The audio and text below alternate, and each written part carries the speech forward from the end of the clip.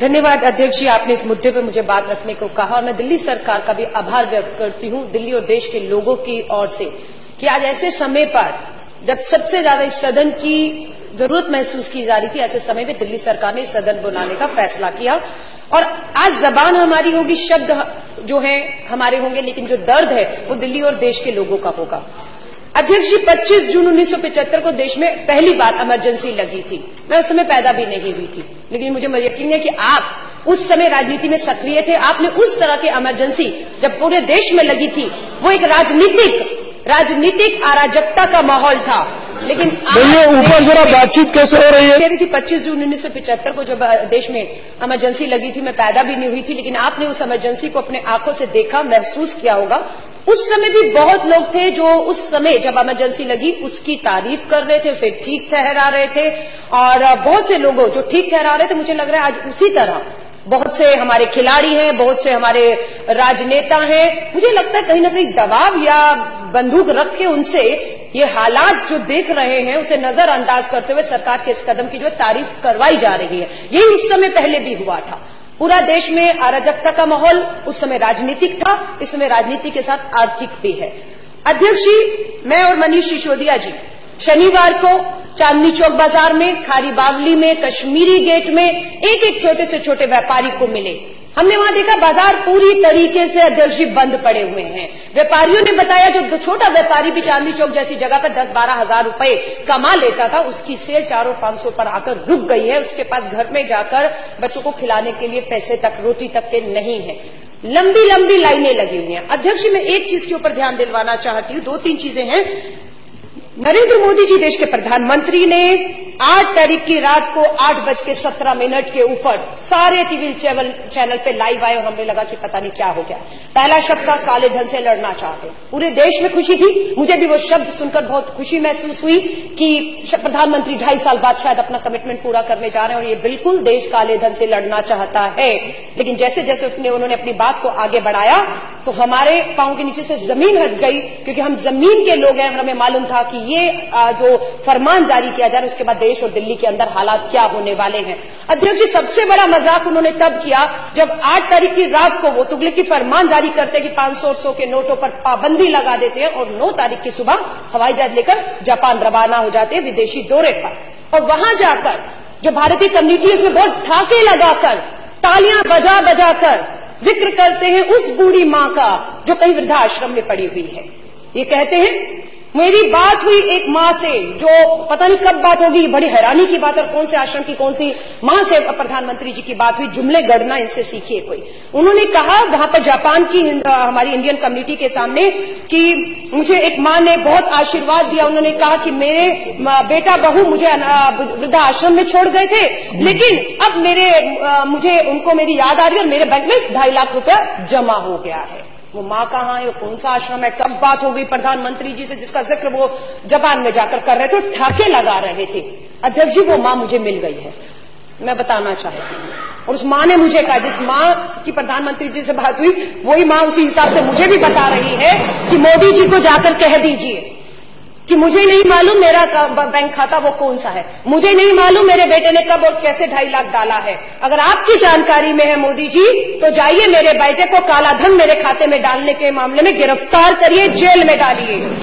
और आशीर्वाद मैं आपको तब दूँगी जब वो माँ ये कह रही है कि मैं अपनी चार दिन से पासबुक लेकर बैंक के खा, के धक्के खा रही हूँ, मैं अपनी पेंशन नहीं लगवा पा रही हूँ, मैं दवा नहीं ले पा रही हूँ, वो माँ रो रही है। ये मोदी जी को मैं बताना चाहती हूँ, ये वही माँ है जिस माँ ने आपको आपको आशीर्वाद दिया था। अध्यक्ष जी, सबसे बड़ी बात। खाता नंबर मैं बता रही हूँ on record double five four five one double zero three four ये किसका अकाउंट नंबर है? अध्यक्ष जी, पश्चिम बंगाल के भाजपा के जो खाता है, पार्टी कार्यालय का खाता का नंबर बता रही दोबारा बता रही हूँ। Double five four five one double zero three four मैं क्यों इसका ज़िक्र कर रही हूँ?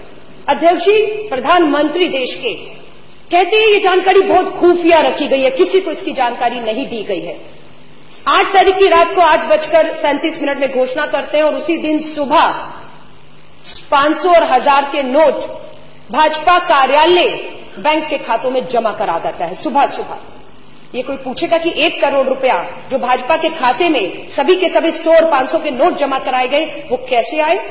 और ये एक ही उदाहरण नहीं, ऐसे बहुत से उदाहरण है, अध्यक्ष जी, जो मैं आपको गिना सकती हूँ और मुझे लगता है बिल्कुल जो जाँच की मांग की जा रही है, भाजपा के एक एक कार्यालय खातों की जाँच होना बेहद ज़रूरी हो चुका है। ये कहना कि ये जानकारी किसी को नहीं थी, ये बिल्कुल झूठ है। इसके एक और अब मैं आपको सबूत दे देती हूँ।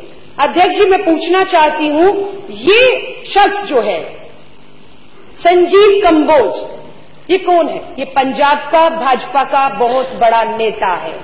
ये ट्वीट पर 2000 नोटों की गच्छी की तस्वीर डालते हैं और कब डालते हैं? मोदी जी घोषणा करते हैं देश के प्रधानमंत्री 8 तारीख की रात को।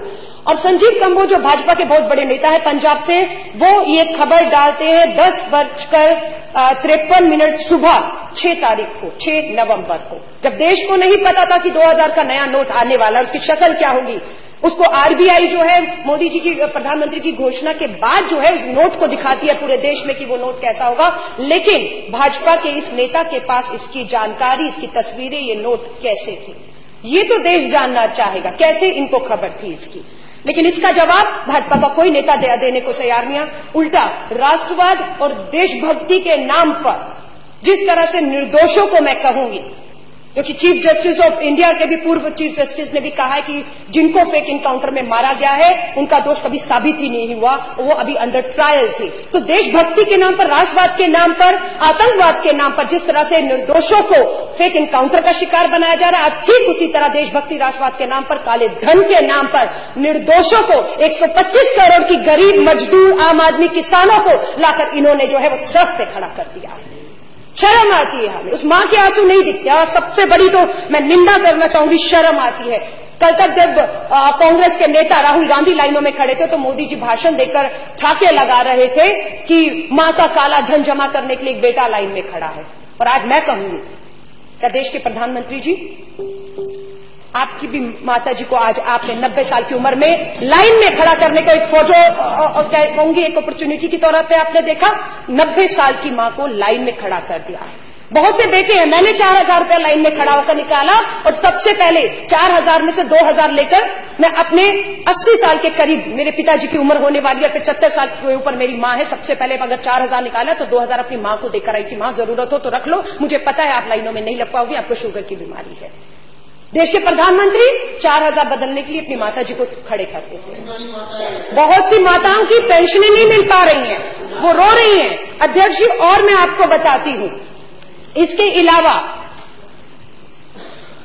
बाबा रामदेव जी ने भाषण दिए थे, नरेंद्र मोदी जी का चुनावों में समर्थन किया था, काला धन आएगा और पंद्रह लाख आएगा, सबके खाते में। हम इसी देश का इंतज़ार कर रहे थे जब मोदी जी घोषणा करने लग गए।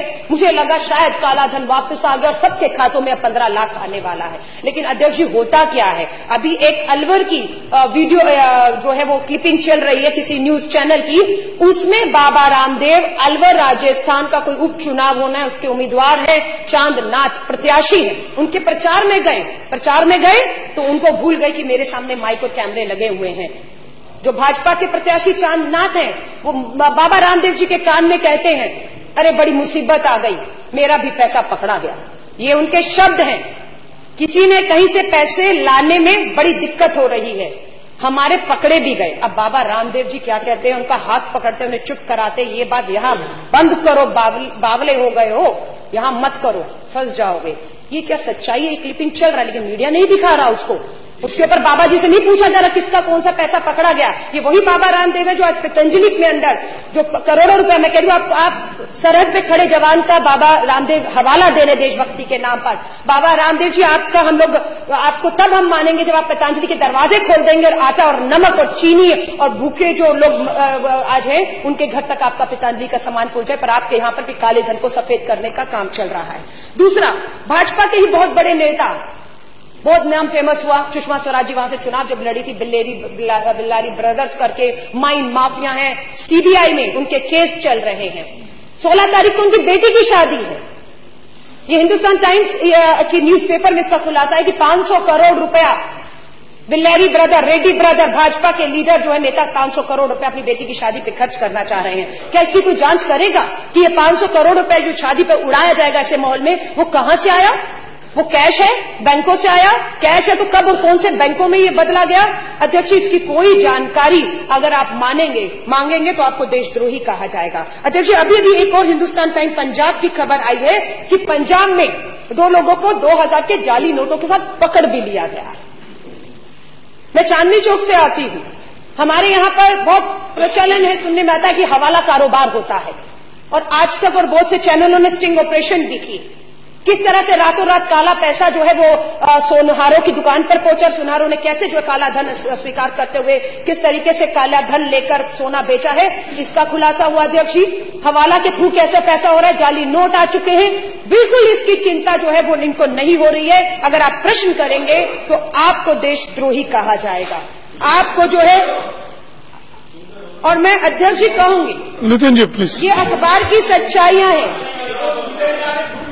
दिल्ली के 80 प्रतिशत एटीएम खाली पड़े हुए हैं, क्योंकि 100 का आपने 500 हज़ार बंद कर दिया, उसके बाद एक ही नोट बचता एटीएम में, जो फिट होता था, वो 100 का होता था।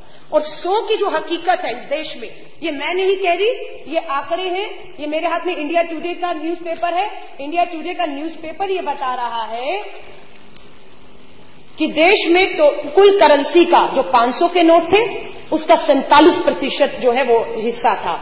और जो एक हज़ार के नोट थे, उसका लगभग सैंतीस प्रतिशत। आप मानिए, लगभग लगभग अस्सी प्रतिशत जो करेंसी थी, वो पाँच सौ और हज़ार के नोट की थी। अस्सी, पचासी, बाकी जितना भी रह गया, कुछ प्रतिशत सौ के नोट से ये देश से ये सोच रहे हैं, कुछ यू चल जाएगा। ये हकीकत है। पहले प्रधानमंत्री जी ने कहा, मुझे दो हफ़्ते दे दीजिए। जापान में ठाके मार के हंसे, यहाँ पर आकर रोना शुरू कर दिया और अब पचास दिन मांग रहे हैं और अर्थशास्त्री कह रहे हैं कि छह महीने तक ये व्यवस्था जो है वो सुधरने वाली नहीं है। अराजकता का माहौल सब जगह है। अगर दिल्ली के मुख्यमंत्री उन्हें उन्हें चेतावनी भी देते हैं कि संभल जाइए, इस देश के हालात बहुत बदतर होने वाले हैं। लेकिन वो कहते हैं कि आप हमें धमका रहे हैं। आप हमें धमका रहे हैं। आज श्रेय लेना चाह रहे हैं कि कश्मीर में अगर स्टोन पेल्टिंग अध्यक्ष जी अगर बंद हो गया तो 500 के नोट बंद करने से हुआ है तो मैं ये भी बता दूँ, इस 500 के नोट के साथ स्टोन पेल्टिंग अगर पथरा वहाँ बंद हो चुका है, लेकिन खतरा पूरे देश में इसका पैदा हो चुका है उसके उदाहरण है कि बहुत जगह लूटमार शुरू हो गई, काले बाजारी शुरू हो गई है, नमक तक को लेकर खारी बाबली की दुकान को लूटा गया है। इन सबके लिए सरकार बिल्कुल भी तैयार नहीं है। पच्चीस हज़ार रुपए में कैसी होगी बेटी की शादी? इनका दर्द सुनने वाला कोई है? कौन नहीं चाहता अध्यक्ष जी एक माँ मुझे मिली, जिसका मैंने फेसबुक पे वीडियो भी डाला है, दस लाख लोगों ने उसको शेयर किया है। वो माँ ये कह रही कि मैंने पचास हज़ार रुपया आठ तारीख की सुबह अपनी बेटी की शादी के लिए उधार लिया था। वो पचास हज़ार अब कागज़ रद्दी हो चुका है, कर्ज सिर पे खड़ा है, जिससे लिया है। वो कहता है, मुझे ये नोट वापस चाहिए। मैंने जब दिए थे, तब ये चलते थे, अब मैं जो लूँगा, वो वो लूँगा जो आज चलते हैं। वो माँ आज सड़कों पर खड़ी है। रो रही है कि बेटी की बारात रस्ते से वापस लौट रही है। इसी तरह बहुत उदाहरण है। All is not well at Azadpur Mandi फल फूट सब्ज़ियाँ सड़ रही हैं। करोड़ों का नुकसान इस देश की अर्थव्यवस्था को लग रहा है। लोग बेरोजगार हो रहे हैं जिनके पास सौ लोग काम करने वाले थे सैलरी ना देने की वजह से उन्होंने उनको उनको पता है कि छह महीने तक अर्थव्यवस्था नहीं सुधरेगी। उन्होंने उसको नौकरियों से बेदखल करके बेरोजगारी भी एक बड़ा कारण बनना पड़ा।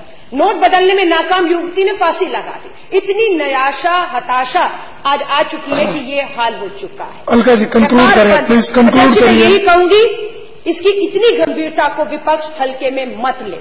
मैं आपसे कहूँगी, हालात, हम ज़मीन से जुड़े हुए नेता, हमारे नेता आजादपुर मंडी से लेकर मनीष सिसोदिया जी पूरा चांदनी चौक घूमे ज़मीन की हकीकत को जानते हैं, जिस ज़मीन की हकीकत से देश के प्रधानमंत्री कोसो दूर हैं। अगर वो ज़मीन की हकीकत से वाकिफ होते तो पश्चिम बंगाल, बिहार, दिल्ली में उनका ये हाल नहीं होता। आज भी मैं कहूँगी समय है, संभल जाए अध्यक्ष जी। जय हिंद, जय